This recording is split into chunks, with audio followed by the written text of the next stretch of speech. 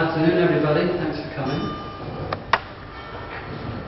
My name is Makmed, and uh, I'm going to tell you a story today. Uh, is anybody here from ancient Egypt? No? Okay. So, I hope some of you have taken the time to have a look at the picture. You could do that now if you want to for five minutes, or shall I just begin the story straight away? What? Excuse me, I'm a little hard of hearing Okay. and I'm finding your voice quite soft. Would you be able to speak just a wee bit louder? A bit louder, okay, I'll try. I know it's at home. It's difficult to be loud and intimate sometimes, you know. Well, I'll do my best, okay? thank you. So my name is Makmed, and uh, I'm going to tell you the story of what is on this drawing here. Okay. So a long time ago, well, uh, so long ago it was actually before time. The sky, this, the sky goddess she was pregnant with the divine children, also known as the seed of heaven, Isis, Osiris, and Set. They all shared the same womb in the belly of the divine goddess.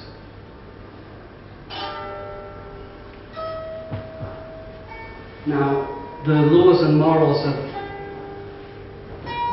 divine children are different from us mortal people. Isis and Osiris already were lovers, although they were brother and sister, but they were lovers inside the womb of their mother. And Set was also there in the womb.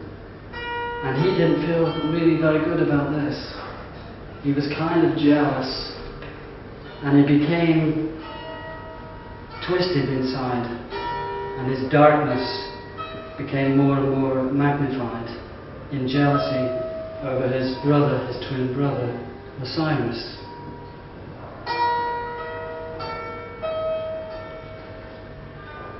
In the fullness of time, the children were born, the divine children.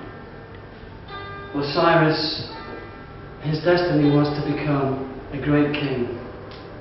He became that great king. He was the greatest of the three, really.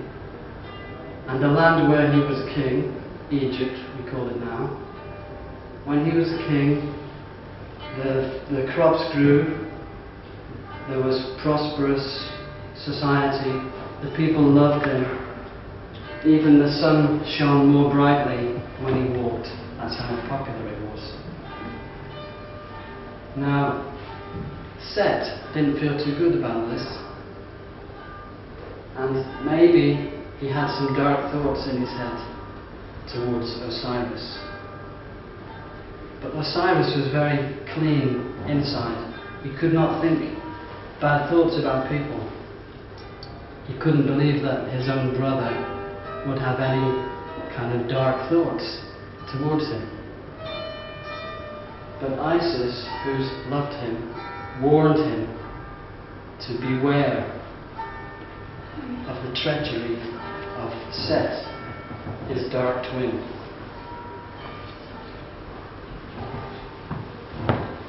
But Osiris, sorry, okay, come and sit down. You missed the beginning now. It was really exciting.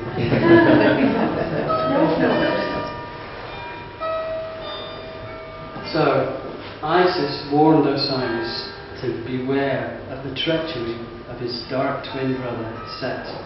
But he, being pure in his heart, did not take that warning.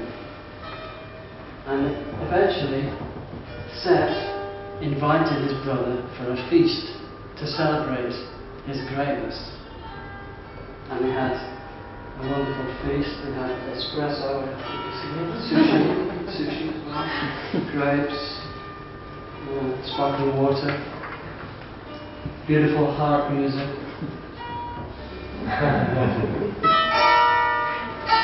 More beautiful even than that. the mood was very relaxed. And Osiris had no idea of the darkness which was in the heart of Set.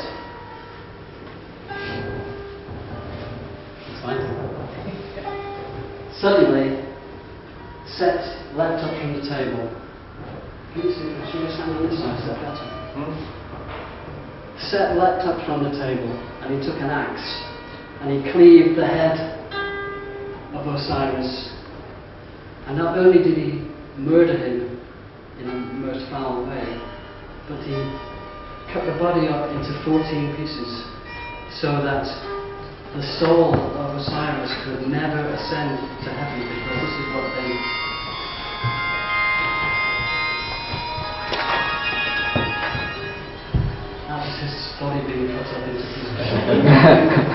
it sounds like.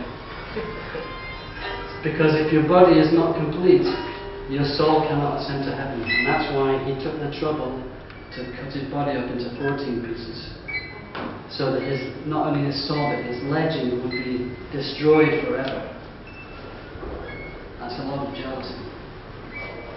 And he took the pieces and he threw them into the river Nile, far and wide, into the great river so he would vanish forever.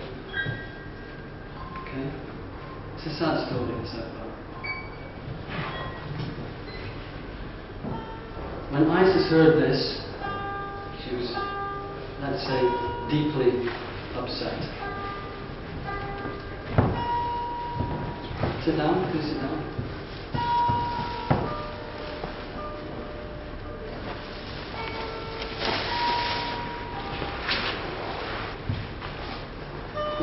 Heard what happened to Osiris, well, she was heartbroken. She cried for seven days and seven nights. That's why there's seven tears in the sky. All that remained was the royal crown. But after seven nights, she decided she would not spend the rest of her life crying. And she decided she would search for the pieces of the body of Osiris and put them back together. Okay? Are you all following me so far? Mm-hmm. Okay. So she took her faithful servant, Sebek, the crocodile god, who in this case has some binoculars, and took a boat and he went up and down the river Nile looking for the pieces of the murdered god king Osiris. And she did find some pieces, she found more and more because he has kind of magical powers, you know, animal instinct, crocodile, the Nile, you know, it's his domain. So they found more and more pieces. Every time she found a piece, she built an altar and gave thanks.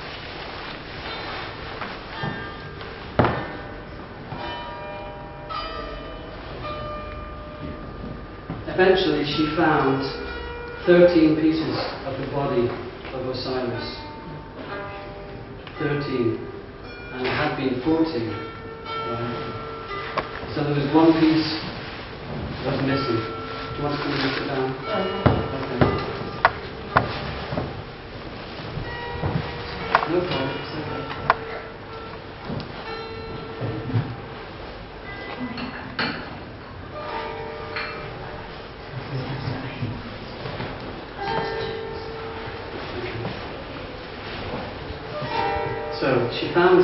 13 pieces of the dismembered body of Osiris.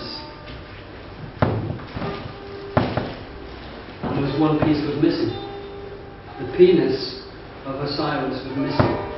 She couldn't find it. She looked everywhere. And so did Sebek, of course. They couldn't find the penis.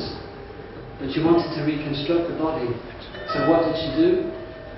She cut off her own thumb and she used this to make a phallus for Osiris. Now this thumb worked pretty good actually. They made love for the last time and they performed what's called the Black Rite. This is Thoth, the ibis-headed god, the Lord of Time. He stopped time, that's him stopping time uh, with a little hourglass. Egg, egg time. He stopped time and they performed the black rite of making love using the thumb of Isis as a phallus. And it was so successful that she even became pregnant. And his soul, because the body was now complete, his soul ascended to the pantheon of greatness. That's pretty good thumb. Nine months later, she became pregnant, so nine months later, she gave birth to the hawk headed son, Horus. He is the avenger of his father, Osiris. His destiny is to avenge the murder, a shocking murder, you might say, of his father, Osiris.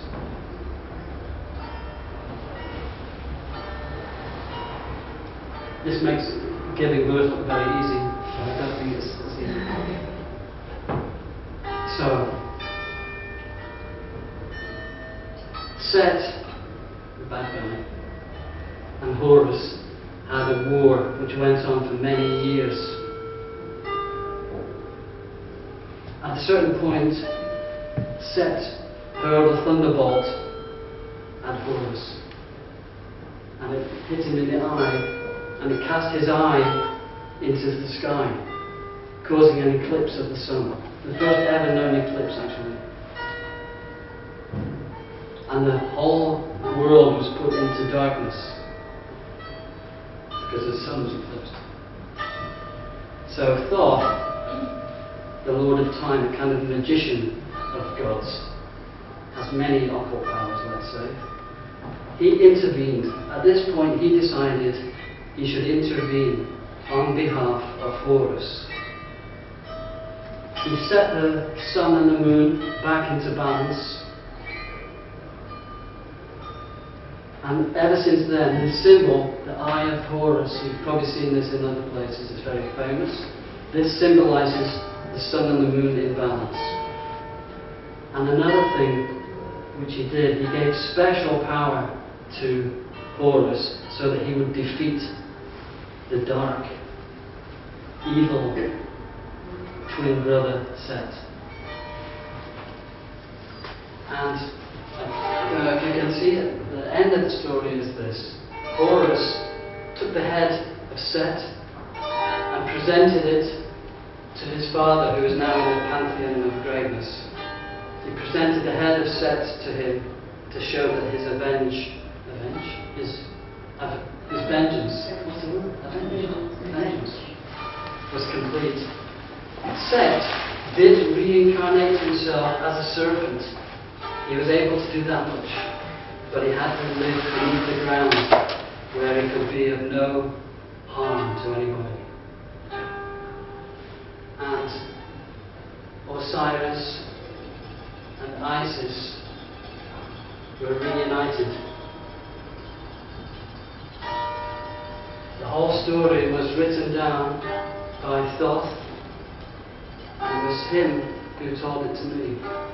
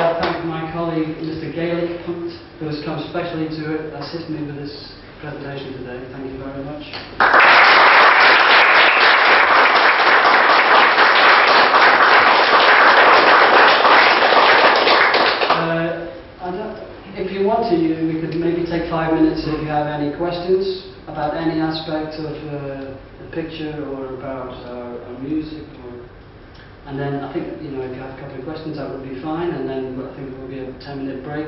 And then Peter Barrett will make his presentation. Does anyone have any questions? I should have, pre- I should have prepared somebody.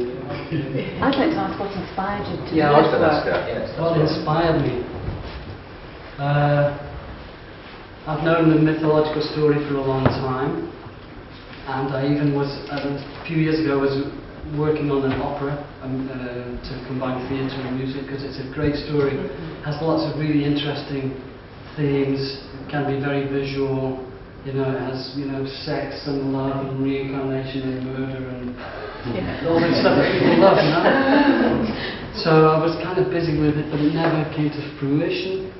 Then I, f- I finished, because I'm primarily a musician, uh, I finished a big long recording project at the end of last year, and I needed something to work on just to get away from music and recording studios and all that, and I just decided to do this.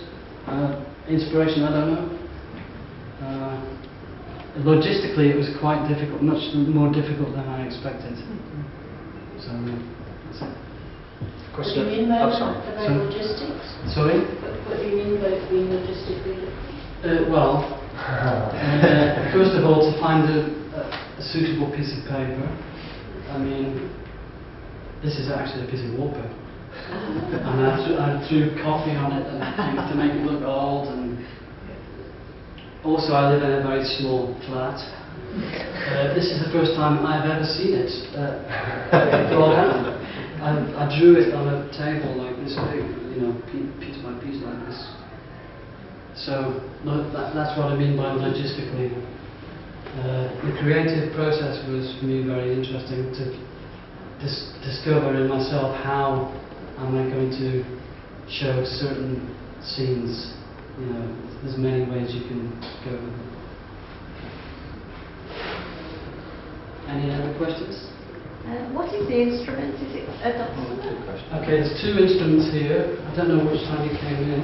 This is a anth- anthro- uh, you say anthroposophical in English. Anthroposophical. I, Uh, that sounds ringing a bell. J- uh, anthroposophical Japanese harp. It's, uh, this harp is designed by Rudolf Steiner, uh, but the tuning is uh, a Japanese called a yonanuki scale. Okay, and this instrument here uh, is actually it's a novelty instrument from about 100 years ago. It was invented in England and it, yeah. They only made about 50 of these. It has no uh, canon, it has no uh, genre, it's just a novelty instrument. And here there's a diaphragm of the old wound up gramophone. And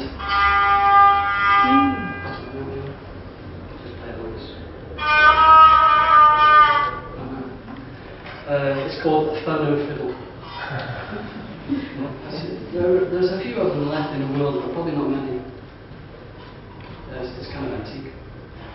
And uh, this is a plastic tube. This is a plastic tube. okay. Somebody else got a question here? Yeah, well, I'd, I'd like to hear a bit more about your, your artistic background, both of you. Okay. Uh, my friend uh, Gaelic Punt here, he plays many instruments, and so do I.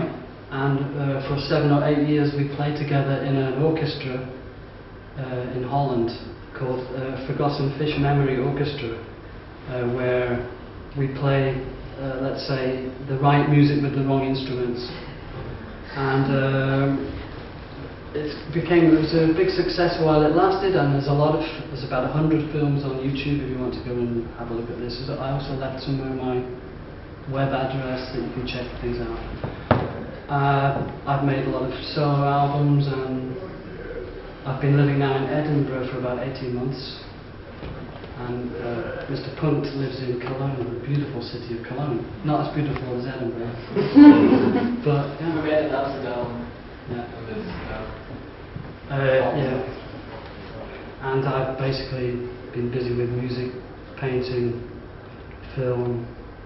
You know, can't can't switch it off, you know. so uh, I'd like to say thanks to Alex, by the way, for setting this up. It's very nice to play here in the library. And, uh, Mm. yeah, yeah, you've got a question. How long did it take to draw? Uh, well, working about uh, three hours a day, maybe three months. You, you wouldn't think it would, you'd think you could do it in a couple of weeks, but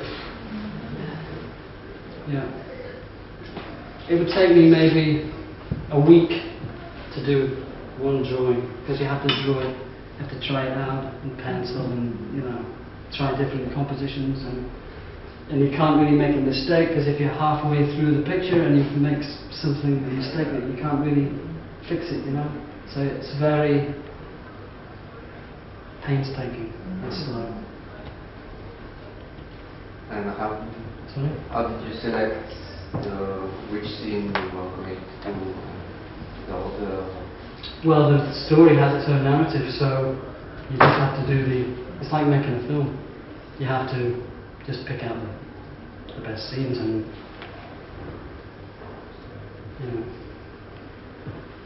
Somebody has a question. yeah? Is there anything symbolic about cut, and cutting the body into 14 parts? I know you said it was Mm. important to Well, that it would be fractured. I'm not really an expert on this. The myth of Osiris is uh, very connected to the Christian myth of uh, crucifixion and also the Scandinavian myth of, um, I think it was Odin was hanging from a tree. Probably some of you know this, I don't really know it. The four, number 14, I know that uh, the Catholic Church has uh, 14 stations of the cross. They have these pictures and, and you can walk, like walk the 14 stages. It might be connected with that historically, I don't know. But there are different versions of the story. Uh, some some don't have the, the story of cutting the thumb. Some say that she took a, a, pe- a, corn, a corn cob from a cornfield. I think this is version. yeah. One more question. Something like a thought rule actually. If she Oh. cut her own, if she cut her own thumb, how does she ascend to heaven? She's not even dead. Well, anyway, the thumb is there. They're connected, they're joined together. Now she's not dead. She can travel between the worlds anyway. She's a divine goddess. I don't think it's a plot hole.